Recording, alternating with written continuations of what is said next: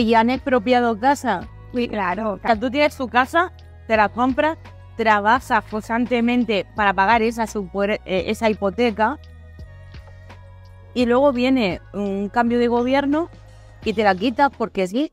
Y este edificio, Es un edificio que tiene comercio privado. de- expropiese, expropiese, expropiese, Puedes expropiese. estar un día y tener algo y un día de repente te llega una orden ¿Cuáles fueron tus momentos más difíciles aquí? Uno tenía documentación para trabajar. Casi todos los que emigramos tenemos historias de este tipo. Y pues estaba en un restaurante, eh, en una cocina, eh, fregando platos. La jefa de cocina entró a la cocina. ¡Corre, corre, corre! Y yo salí corriendo horrible. De que te ves en momentos crisis muchas veces vives una adrenalina, una adrenalina constante. Mira qué a gusto están. ¿Cómo están los niños? ¿Cómo están?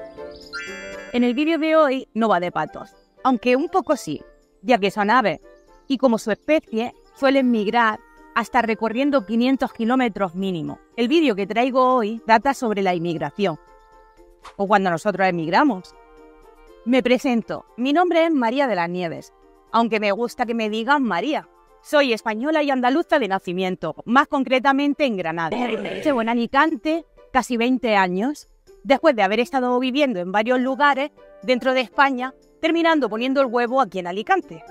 Aunque para mí fue fácil, ya que estaba dentro del mismo país, la misma cultura y tradiciones, aunque diferente a las de Andalucía, pero estaba dentro de España. Y la historia que hoy les quiero contar comienza aquí. Hace unos siete años yo trabajaba en esta oficina de este edificio que estáis viendo ahora mismo y conocí a una chica que estaba recién llegada de su país, con sus dos hijos pequeños y una maleta llena de ilusión. Yo he quedado con esta amiga y buenas. Hola. No, pero ¿qué? ¿A seguir? Sí, preséntate, ¿cómo te llamas? Dile, amigo, en el vídeo de hoy os presento a Lisbeth. Querida, cuéntanos qué haces aquí, cuánto llevas aquí, de dónde eres. Vale, soy venezolana, llevo seis años, un poquito más en España. Pues ha sido un tiempo de cambios, de, de muchos retos, pero súper feliz, súper contenta porque pues a muchos como yo, los venezolanos, nos ha tocado como empezar de cero y pues España ha sido un buen lugar para hacerlo. La verdad estoy muy contenta. Y bueno, María es una de esas personas que he conocido y pues hemos, hemos caminado, hemos hecho pequeños caminos juntos y Yo también tuve una experiencia similar, pero no tiene nada que ver porque, claro, yo no cambié de país, ya, entonces diferente.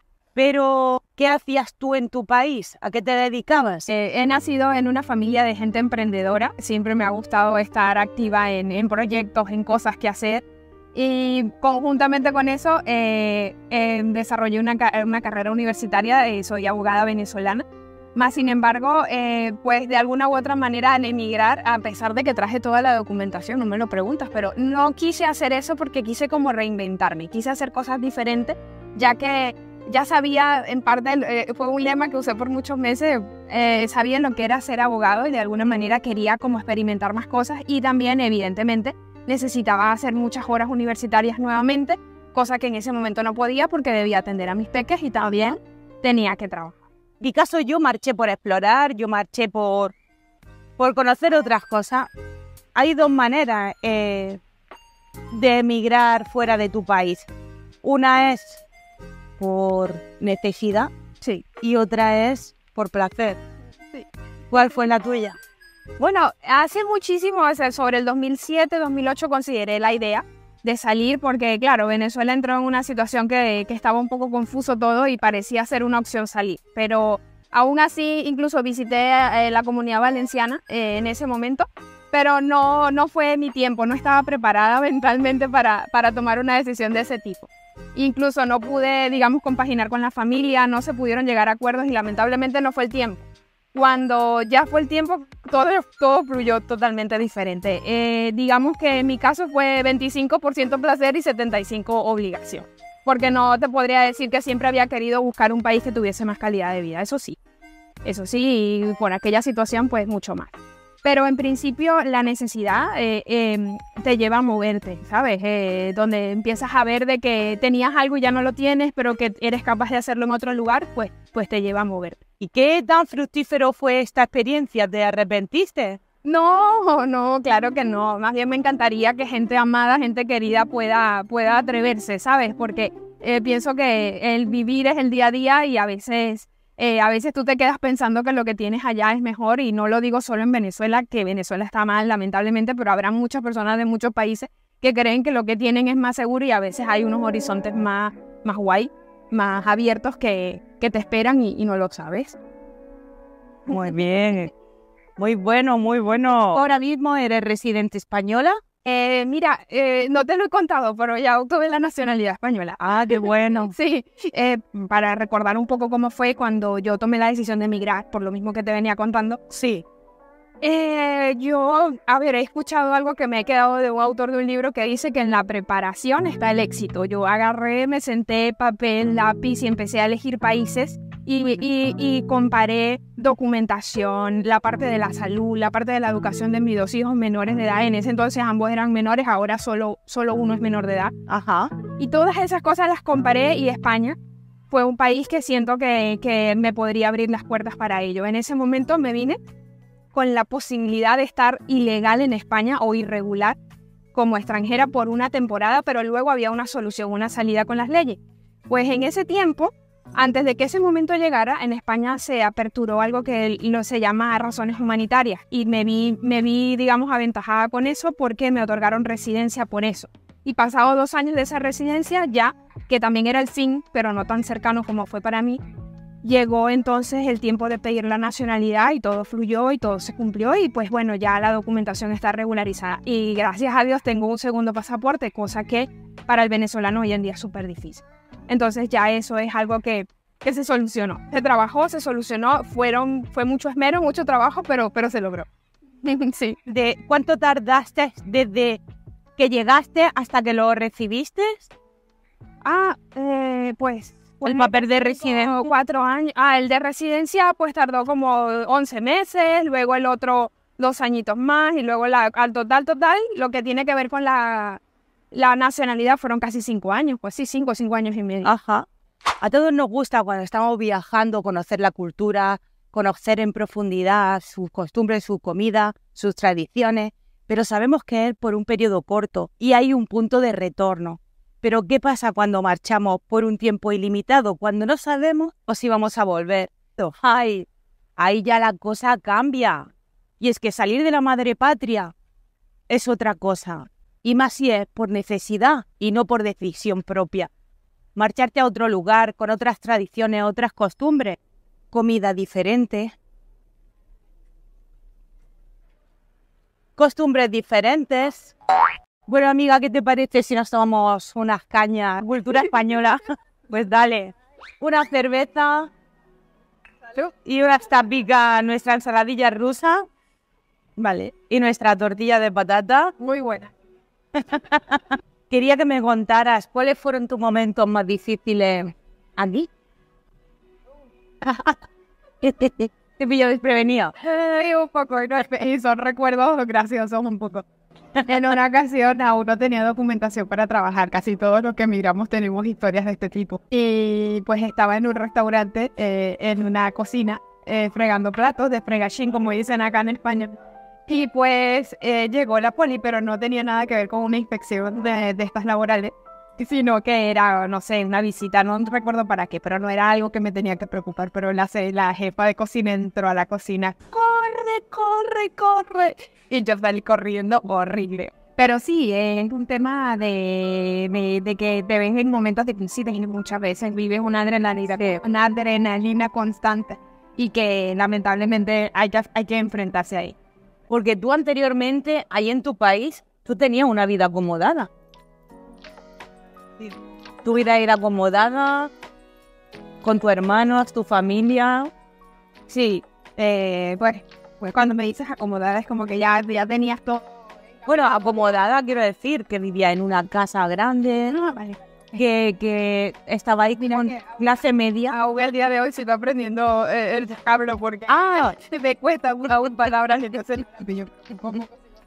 sí, acom- pues eso, acomodada clase media alta. Sí, bueno, eh, ah, como te nombré hace un rato, eh, vengo de una familia empre- emprendedora. Mi padre siempre trabajó un montón y siempre, eh, digamos, sabe, sabe, sabe, de esas personas que saben cómo producir dinero, emprender, buscarse alternativas más allá de lo que sería un ingreso base. Y bueno, sí, él logró muchísimas cosas y gracias a, a lo que él cosechó cuando yo llegué, cuando yo nací, digamos, que ya nací en, en, un lugar como más cómodo a, a diferencia de mis hermanos. Soy la cuarta eh, hija de, y soy la menor. Entonces, eh, de, de nosotros cuatro, ellos me cuentan y en mi caso fue como más, todo mejor, digamos. Y sí, dejamos casa, dejamos... Gracias. Gracias. Sí, gracias. Si queréis un poquito más debajo, vale, Gracias. eh, realmente eh, dejamos eh, nada. ¿Y no se lo expropiaron esa tierra? Hasta ahora no, pero tengo tíos cercanos que han vivido experiencias difíciles y, y nada, me sabe mal, pero son cosas que estamos todos expuestos a eso. Gracias. Sí, bueno, eh, ¿Y han expropiado casa? sí, claro, casas, locales. Sí, o sea, tú tienes tu casa, te la compras, trabajas constantemente para pagar eh, esa hipoteca y luego viene un cambio de gobierno y te la quitas porque sí. Sí, bueno, en Venezuela eh, propiamente ha sido este, este único y nefasto gobierno que ha hecho esas cosas. Realmente no recuerdo yo de anteriores que de esa forma no. Eso es una mezcla de, de cosas ilegales con decir que son socialistas. Realmente aquello es un cúmulo de malandros que han hecho lo que han querido y dicen llamarse políticos, eh, socialistas, eh, revolucionarios, pero son puros términos para ellos autolegalizarse, pero realmente no lo son. Me parece que son personas sin escrúpulos que lamentablemente eh, eh, hacen cosas como las expropiaciones, ¿sabes? Hacen cosas muy ilegales, muy, muy opuestas eh, opuestas a, a todo. Este es el edificio La Francia. Está ubicado frente a la histórica Plaza Bolívar de Caracas.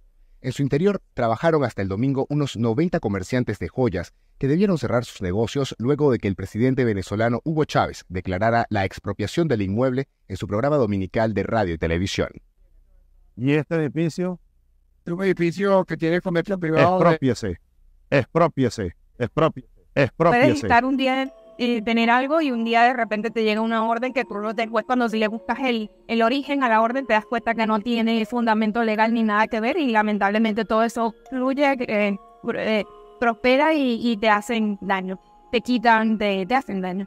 Qué fuerte. Qué impotencia, ¿no? Qué impotencia. Muy difícil. Historias, pero vamos, no te voy a poner a contar, pero historias y de gente, familia muy cercana y querida, amada y lamentablemente eh, están pasando por situaciones de eso.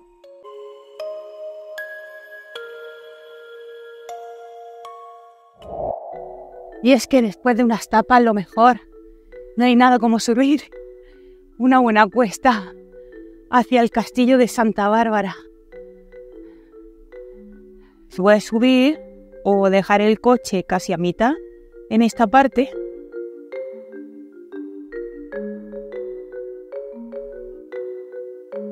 Brutal la puesta de sol. Ah, entramos, ya coronamos. Ya estamos coronando. Y es que aquí antiguamente se pondría un señor en el que se estaba refugiando en esta casetilla mientras vigilaba quién entraba y quién salía. Bueno, y ya después de habernos tomado unas cuantas tapas y unas cervezas, como decía mi abuela, con la panza llena no hay pena. ¿A ti decía? Eso decía mi abuela. que estamos en el sitio emblemático por excelencia, el de Alicante. No venir aquí es como no ir a Egipto y visitar las pirámides. y ya que estamos aquí, voy a contar el vínculo que hay con el nombre de la ciudad de Alicante y el castillo de Santa Bárbara. El castillo Santa Bárbara está ubicado en la cumbre del monte Benacantil, a 166 metros de altitud. En él se encuentra una de las más grandes fortalezas medievales de España, desde la que se divisa a la perfección la bahía de Alicante, lo que le confería un enorme valor estratégico, ya que desde la misma se divisa toda la bahía y sus alrededores terrestres. Se narra una leyenda sobre el origen del nombre de Alicante, y es que según la leyenda, algunos sostienen que Alicante no debe su nombre a su antigua denominación islámica, al-Lakant, sino a una hermosa princesa árabe llamada Cántara. Su padre era el caudillo de la Medina musulmana y vivían en la fortaleza de Benacantil, hoy conocido como el Castillo de Santa Bárbara, rodeado de riquezas y manjares. A medida que Cántara crecía, más pretendientes buscaban su mano. Su padre esperaba que apareciera algún fuerte, apuesto y rico para casarse con ella. Sin embargo, tras un banquete en el castillo, donde asistieron varios pretendientes, el padre encontró dos candidatos adecuados, Ali y Almanzor. El padre decidió someterlos a pruebas. Ali debía traer agua de tibia al castillo, construyendo una larga acequia, mientras que Almanzor debía viajar a las Indias y traer las mejores especias. Ali se distrajo enamorado de la princesa, descuidando su tarea, mientras que Almanzor cumplió exitosamente la suya. El padre, cumpliendo su palabra, entregó la mano de la princesa a Almanzor, a pesar de la elección de Cántara, Ali desesperado se quitó la vida y la princesa Cántara también lo hizo. El padre, angustiado por la pérdida de su hija, fue petrificado bajo su fortaleza y su rostro se pudo ver hoy como la cara del moro de Alicante, bajo el castillo de Santa Bárbara. Conmovidos por esta trágica historia, los habitantes de Al-Lagant decidieron rebautizar la ciudad como Alicántara, en memoria de la princesa árabe, y se dice que de ahí proviene el nombre actual de la ciudad Alicante. Dentro del castillo hay unas salas que te suelen encontrar con exposiciones. En este caso nosotros nos encontramos una exposición sobre las fiestas de moro y cristiano que muestra trajes, armas, carteles, vídeos y una selección de fotografías de fiestas de la provincia.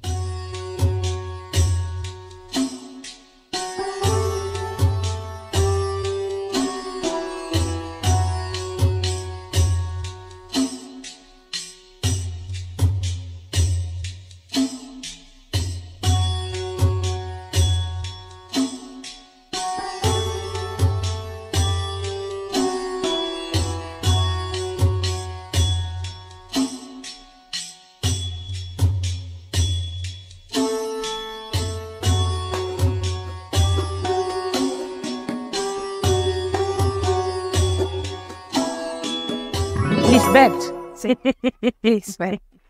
¿qué tendría que cambiar tu país para que tú volvieras? Uy. Ay, yo, yo, María, la verdad, yo considero que tu país es donde tú te encuentras. Uno tiene que tener una identidad muy propia. Tú traes tu costumbre, tus raíces, tus recuerdos a ti, a, a tu presente, a tu andar. Y no, no lo veo una necesidad ni ahora ni futura, no lo sé. Sí que es verdad que las cosas en el mundo están como tan turbias que ya no sabemos Ya. qué es lo que más conviene para una familia hoy en día, pero sin embargo, volver allí ahora está complicado. Sí. Pero sin embargo, eh, nada, no, no soy de eso, de, de que estar aquí, estar allá. Yo pienso que tenemos que adecuarnos y, y más.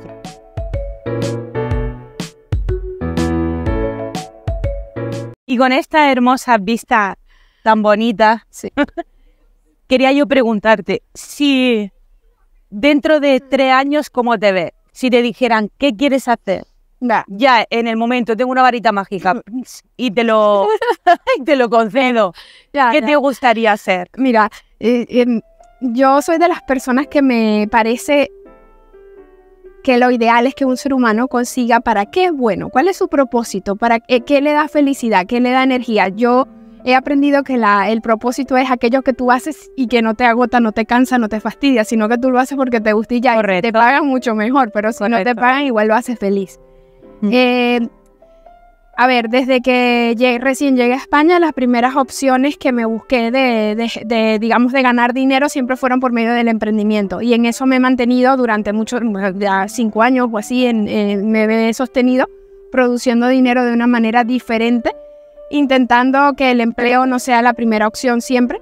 Más sin embargo, siempre lo es porque nada, porque toca, porque corresponde, pero por otro lado, siempre soñando y queriendo lograr algo propio, algo que te deje eh, no solamente ingresos, sino que también te deje esa satisfacción y que te permita tener libertad. Eso sería lo, lo- lo ideal para mí. Y si me, me- proyecto a tres años, pues justamente ahora estoy diseñando algo con lo cual he soñado por mucho tiempo y me había costado mucho intentar en dónde ubicarlo y, para poder trabajar con él y poder eh, hacérselo llevar a otras personas para que sea tan útil como lo ha sido para mí en el tema del emprendimiento. Así que mm, si hay algo que le puedo decir a una persona que, que emigra, que sale, que no deje de soñar en aquello que quiere, que sí que haga lo que tiene que hacer cada día, pero que por otro lado siempre esté constantemente buscando la manera de lograr lo que, lo que en principio quería.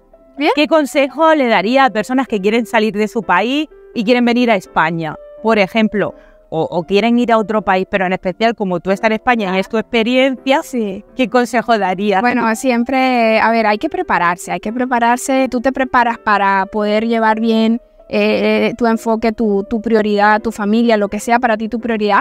Pues entre eso, prepararse, perdona que te interrumpa, ¿en qué sentido? ¿Prepararte?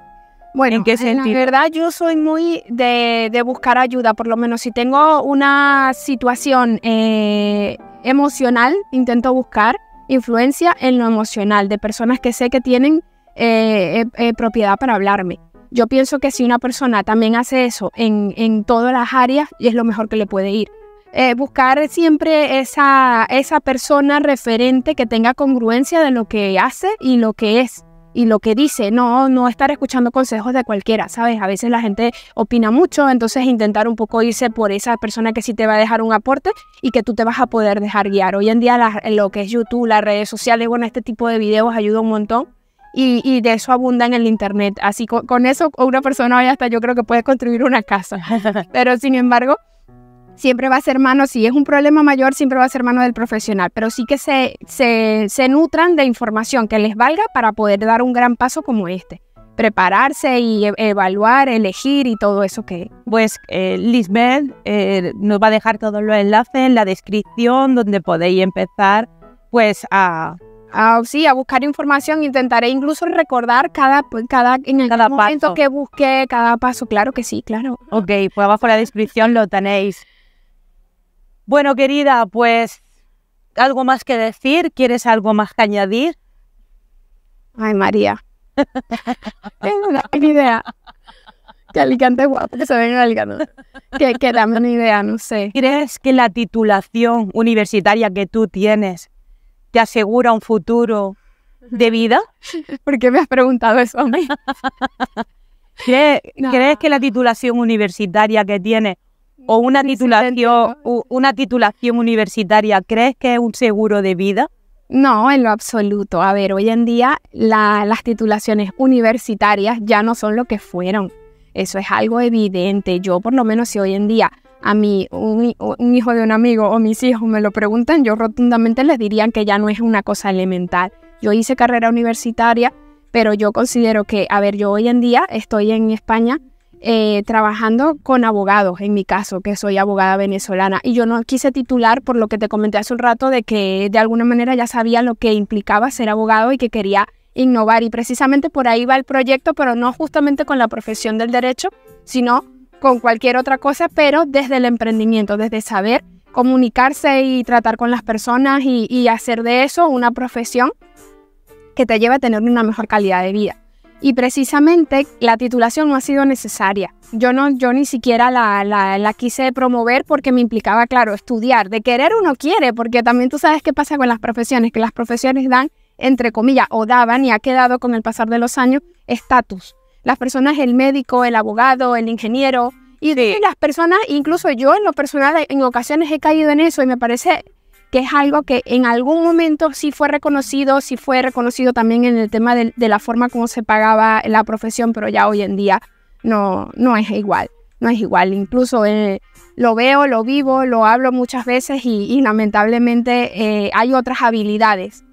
Volvemos a caer en el tema del proyecto, que sí van mezcladas al éxito de una persona. Inclusive hoy en día un buen profesional que tenga su técnica, sus, volvemos a los ejemplos, abogado, ingeniero, médico, ellos si no tienen habilidades de comunicación, habilidades de, de liderazgo, habilidades que te lleven a otro nivel, lamentablemente quedan como al ras.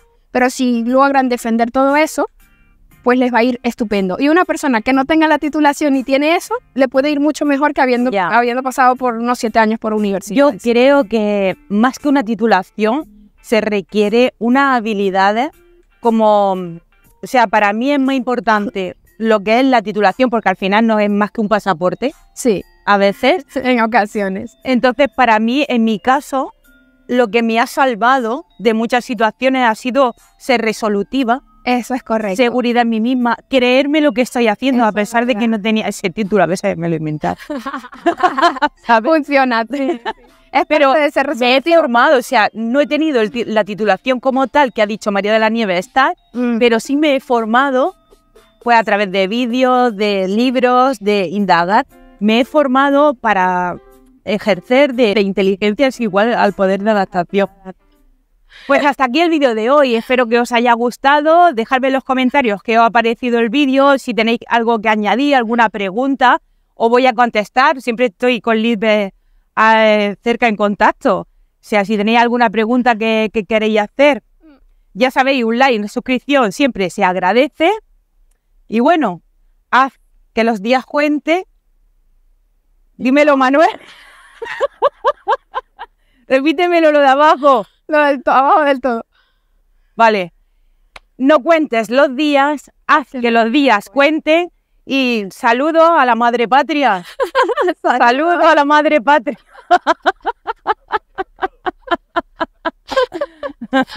y ya está. Hoy me estaba viendo todo el mundo. Oh, qué bonito. Con estas vistas espectaculares que tenemos a nuestras espaldas. Una última cosa, Lisbeth. Gra- Lisbeth. Una última cosa, Lisbeth.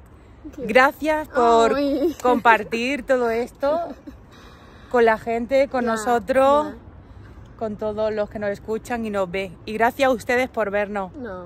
Ahora sí. De nada. Chao, chao.